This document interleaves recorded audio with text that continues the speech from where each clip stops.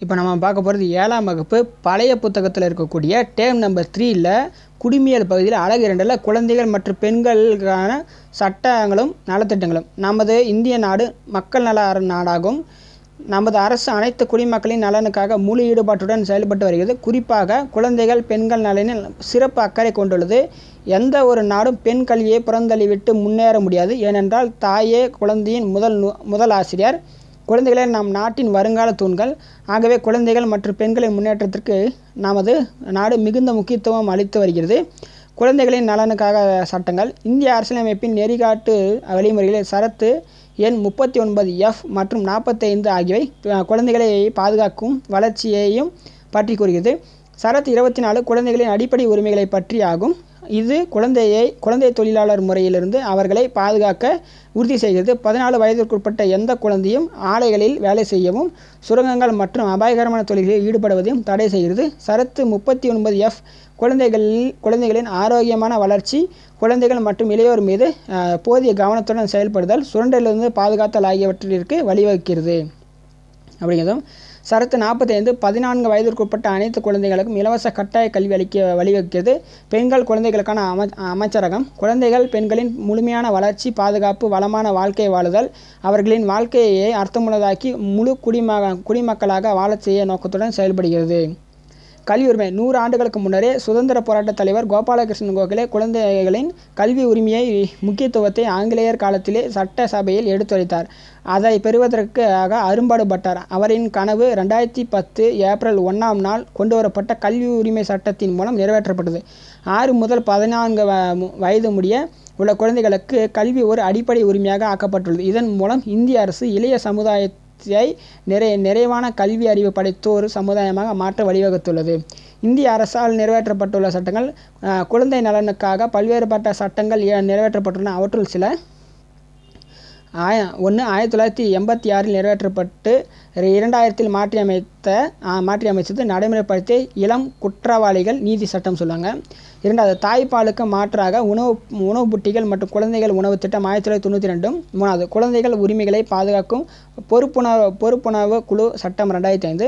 குழந்தைகளுக்கான நலத்திட்டங்கள் குழந்தைகள் முன்னேற்றம் மற்றும் நலனுக்காக மிகுதியான நலத்திட்டங்கள் நடைமுறைப்படுத்தப்பட்டன. ஒன்றாவது ஒருங்கிணைந்த குழந்தை வளர்ச்சி திட்டம் ஐசிடிஎஸ் ஆயிரத்தி தொள்ளாயிரத்தி எழுபத்தைந்து இதன் நோக்கங்கள் பார்த்தீங்கன்னா ஒன்று ஆறு வயதிற்குட்பட்ட குழந்தைகள் கர்ப்பிணி தாய்மார்கள் பாலூட்டும் தாய்மார்கள் ஆகியோர்களின் உடல் நலத்தை பாதுகாத்தல். அடுத்தது அது ரெண்டாவது குழந்தை இறப்பு விகிதம் சத்துணவு குறைவு இடை பள்ளி இடை இடைநிற்றல் போன்றவற்றிற்கான விழுக்காடுகளை குறைத்தல். இரண்டாவது பணிக்கு செல்லும் தாய்மார்களின் குழந்தைகளுக்காக குழந்தை பேணி வளர்க்கும் ராஜீவ் காந்தி குழந்தை காப்பக திட்டம் இரண்டாயிரத்தி ஆறில் நிறுவ கொண்டு வரப்பட்டது இத்திட்டம் வேலைக்கு செல்லும் தாய்மார்கள் ஆறு வயது வரை உள்ள குழந்தைகளுக்காக குழந்தைகள் காப்பகத்தை ஏற்படுத்தி நடத்தி வருகின்றனர். மூணாவது வீதிகளில் வாழும் குழந்தைகளுக்கான திட்டம் அப்படின்னு சொல்லி கொடுத்துருக்காங்க. அதில் வீதிகளில் ஆதரவின்றி திரியும் குழந்தைகளின் குழந்தைகளுக்கு உறைவிடம் ஊட்டச்சத்து உடல்நலம் பேணல் கல்வி மற்றும் ஓய்வு நேரத்தை பயன்படுத்த வழி செய்தல் போன்ற ஒருங்கிணைந்த திட்டங்கள் நடைமுறை நடைமுறைப்படுத்தப்பட்டன. குழந்தைகளை தவறாக பயன்படுத்துவதிலிருந்து சுரண்டலிருந்து இத்திட்டம் பாதுகாக்கிறது. அடுத்து குழந்தை உதவி மையங்கள். இது பிரச்ச பிரச்சனைகளிலிருந்து குழந்தைகளுக்கும் அவசர காலத்திற்கு அவசர காலத்திலும் உதவி செய்கின்றது. குழந்தைகளின் உடல்நலம் பாதுகாப்பு ஆகியவற்றிலும் சிறப்பு சிறப்பு கவனத்தை செலுத்துகிறது.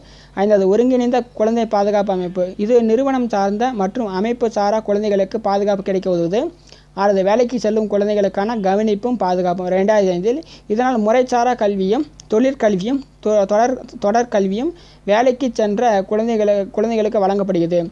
குழந்தைகள் தின கடைபிடித்தல். ஒவ்வொரு ஆண்டும் நவம்பர் பதினாலாம் நாள் குழந்தைகள் தினமாக கொண்டாடப்படுது. அது அரசுக்கும் தன்னார்வ நிறுவனங்களுக்கும் குழந்தைகளின் வளர்ச்சி வ- வளர்ச்சி திட்டங்களை திரும்ப பார்க்க வாய்ப்பளிக்கிறது. மேலும் பல்வேறு துறைகளில் அவர்கள் முன்னேற ஊக்க ஊக்கம் அளிக்கிறது அப்படின்னு சொல்லி கொடுத்துருங்க அரசின் விருதுகள் குழந்தைகளுக்கான கலை இலக்கியம் கலாச்சாரம் விளையாட்டு ஆகிய துறைகளில் முதன்மை பெற்று தனித்திறமையுடன் வெளிப்படுத்தும் மாணவர்கள் அரசு அரசு முறையான ஏற்பு தந்து பல்வேறு விருதுகளை அளித்து வருகிறது. ஆயிரத்தி தொள்ளாயிரத்தி தொண்ணூற்றி ஆறில் சாதனை சாதனை குழந்தைகளுக்கான தேசிய விருது ஏற்படுத்தப்படும் ஒவ்வொரு ஆண்டும் குடியரசு தினம் நாலு முதல் பதினைந்து வயதிற்குட்பட்ட பாராட்டு வரை குழந்தைகள் சிறப்பு விருந்தினர்களாக கௌரவிக்கப்படுகின்றனர். குழந்தைகளுக்காக பல்வேறு சட்டங்களை உருவாக்கினாலும் குழந்தைகளுக்கு நடைம நடைபெறுகின்ற கொடுமைகள் குறித்து அவர்களுக்கு விழிப்புணர்வு உருவாக்கப்பட வேண்டும். பிரச்சனைகளை முடிவுக்கு கொண்டு வர சரியான வழிகாட்டுதலையும் நெறிப்படுத்துதலையும் அணுகக்கூடிய வகையில் அவர்கள் உருவாக்க வேண்டும். குழந்தைகள் குழந்தைகளுக்கு நடைபெறுகின்ற பல்வேறு கொடுமைகள் தவறாக பயன்படுத்துதல் ஆகியவற்றை நீக்க பெற்றோர்கள் ஆசிரியர்கள் சமுதாய நல நிறுவனங்கள் ஆகியவை அரசுடன் ஒத்துழைக்க வேண்டும்.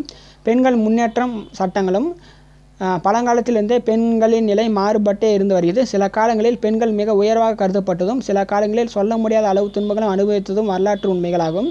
சமூகத்தில் பெண்களின் நிலை உயர்ந்த உயர்த்த இந்திய அரசு எண்ணற்ற உரிமைகளும் சட்டங்களையும் நடைமுறைப்படுத்தியுள்ளது.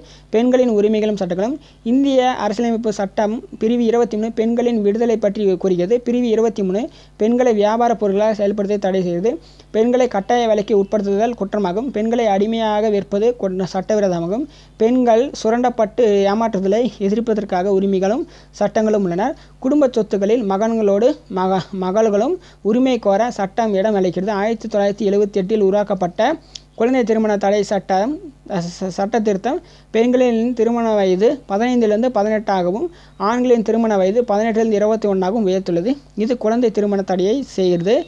ஆயிரத்தி தொள்ளாயிரத்தி அறுபத்தி ஒன்றில் நடைமுறைக்கு வந்த வரதட்சணை தடை சட்டம் வரதட்சணை கொடுப்பதையும் வாங்குவதையும் தடை செய்கிறது செய்துள்ளது. ஆயிரத்தி தொள்ளாயிரத்தி எண்பத்தி ஆறில் கொண்டு வரப்பட்ட வரதட்சணை த தடை சட்ட திருத்தம் வரதட்சணை வாங்குபவர் வரதட்சணை தொடர்பாக பெண்களை கொடுமைப்படுத்துவர் மீது கடுமையான தண்டனை கொடுக்க வழிவக வழிவகுத்துள்ளது.